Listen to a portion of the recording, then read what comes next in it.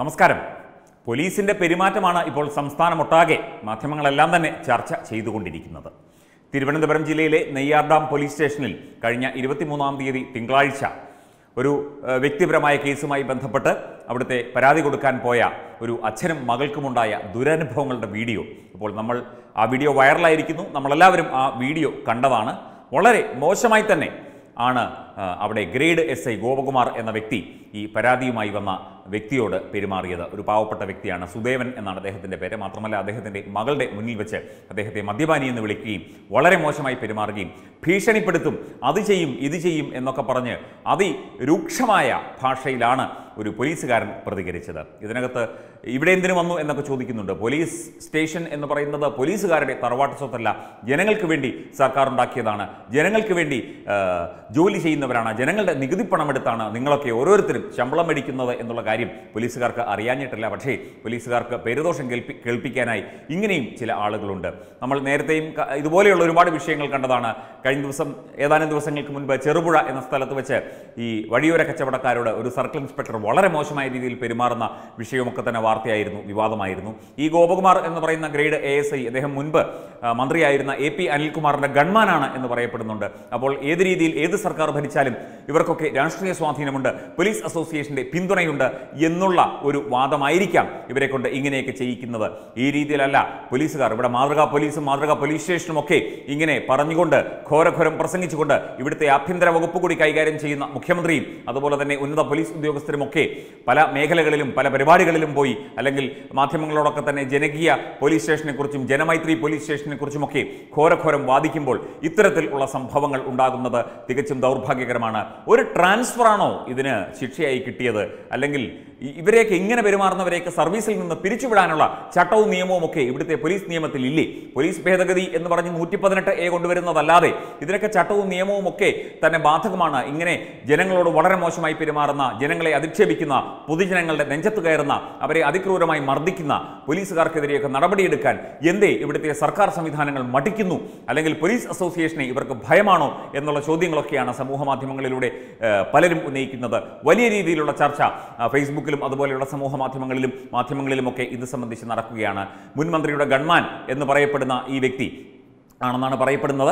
അപ്പോൾ ആ രീതിയിൽ രാഷ്ട്രീയ സ്വാധീനം ഈ പോലീസുകാരന് ഉണ്ട് എന്നുള്ള കാര്യം വ്യക്തം. ആ രീതിയിൽ തന്നെയാണ് പെരുമാറുന്നത്.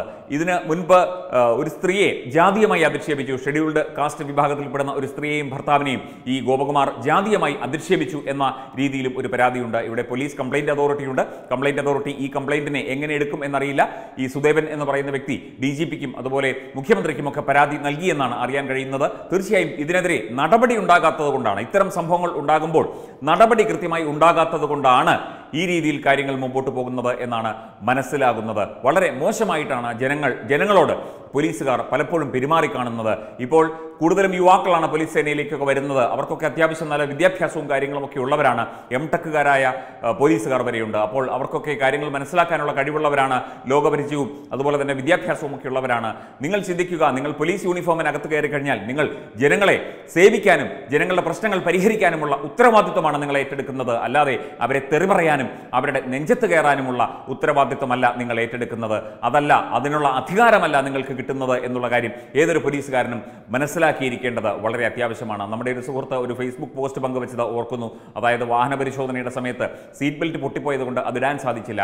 വളരെ മോശമായ രീതിയിൽ ഡ്രസ് ധരിച്ച ഒരു സിവിൽ പോലീസ് ഉദ്യോഗസ്ഥൻ വളരെ മോശമായി ഈ വ്യക്തിയോട് പെരുമാറുകയും ഒരു പ്രത്യേകിച്ച് വാഹന പരിശോധനയ്ക്കിടയിൽ ഉണ്ടാകുന്ന നിയമക്രമങ്ങളൊക്കെ മറികടന്നുകൊണ്ട് ഇവരെ സ്റ്റേഷനിൽ കൊണ്ടുപോയി അവരെ ഡ്യൂട്ടി തടസ്സപ്പെടുത്തി എന്ന് പറഞ്ഞ് മണിക്കൂറുകളോളം അസഭ്യം പറയുകയും അവരുടെ വീട്ടുകാരെ അടക്കം ചീത്ത പറയുകയും ഒക്കെ ചെയ്ത കഥയൊക്കെ ഒരു ഫേസ്ബുക്ക് പോസ്റ്റ് ഒരു സുഹൃത്ത് ഈ അടുത്ത ദിവസം കഴിഞ്ഞ ദിവസം തന്നെ പങ്കുവച്ചത് ഓർക്കുന്നു. ഈ രീതിയിലാണ് പോലീസെങ്കിൽ നമ്മുടെ പോലീസ് സേനയുടെ ആ ഒരു അന്തസ്സത്ത എന്താണ്? പോലീസ് സേന ഇത്രയും അധപ്പതിച്ചോ ഇവിടുത്തെ ആഭ്യന്തര വകുപ്പും ഡി ജി പിയും ഒക്കെ ഈ ഒരു കാര്യത്തിലൊന്നും ഇടപെടുന്നില്ലേ? അതോ പോലീസുകാർ എന്ന് പറഞ്ഞാൽ എല്ലാവരും അഴിച്ചുവിട്ടിരിക്കുകയാണോ? നമ്മൾ എല്ലാ പോലീസുകാരെയും അല്ല പറയുന്നത്. ഈ രീതിയിൽ പോലീസുകാർ പെരുമാറുന്നത് തികച്ചും നമ്മുടെ നാടിന് തന്നെ അപമാനമാണ്. ജനങ്ങളെ ഇത്തരത്തിൽ ഉപദ്രവിക്കുന്നത് നിങ്ങൾ കാണിക്കുന്നത് ഒട്ടും അന്തസ്സിന് ചേർന്ന പണിയല്ല.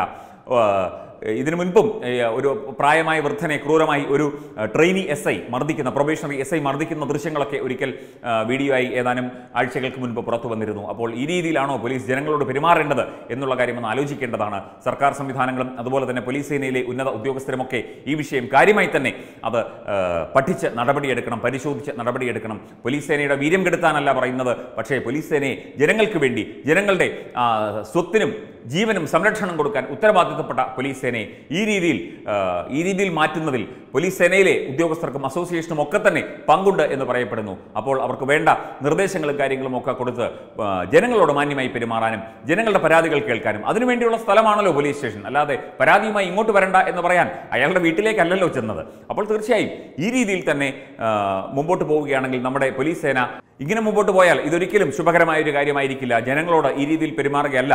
പോലീസിന്റെ രീതി അല്ലെങ്കിൽ പോലീസിന്റെ ജോലി. പോലീസ് നല്ല രീതിയിൽ ജനങ്ങളോട് വളരെ സ്നേഹത്തോടെ പെരുമാറി. ഈവൻ ഒരു പ്രതിയാണെങ്കിൽ കൂടി പോലീസ് സ്റ്റേഷനിലേക്ക് പിടിച്ചുകൊണ്ടുവന്നാൽ പെരുമാറുന്നതിനും അതിന്റെ കാര്യങ്ങൾ ചോദിച്ചറിയുന്നതിനുമൊക്കെ ചില ചട്ടങ്ങളും നിയമങ്ങളും ഒക്കെ ഉണ്ട് അതൊന്നും അറിയില്ലെങ്കിൽ ഈ പോലീസുകാർക്ക് പറഞ്ഞു കൊടുക്കുക. രാഷ്ട്രീയ സ്വാധീനവും മറ്റു കാര്യങ്ങളുമൊക്കെ ഉണ്ട് എന്ന് വിചാരിച്ച് എന്ത് തോന്നിയാസവും എന്ത് എന്ത് പോക്കൃത്തരവും കാണിക്കാനുള്ള ലൈസൻസായി പോലീസിന്റെ യൂണിഫോം മാറുന്ന ഒരവസ്ഥയിലേക്കാണ് കാര്യങ്ങൾ എത്തിക്കൊണ്ടിരിക്കുന്നത്. അത് വളരെ ദുഃഖകരമായ അവസ്ഥയാണ്. ഈ അവസ്ഥയ്ക്ക് മാറ്റമുണ്ടായേ പറ്റൂ. വെബ് ഡെസ്ക് തത്തുമൈ ന്യൂസ്.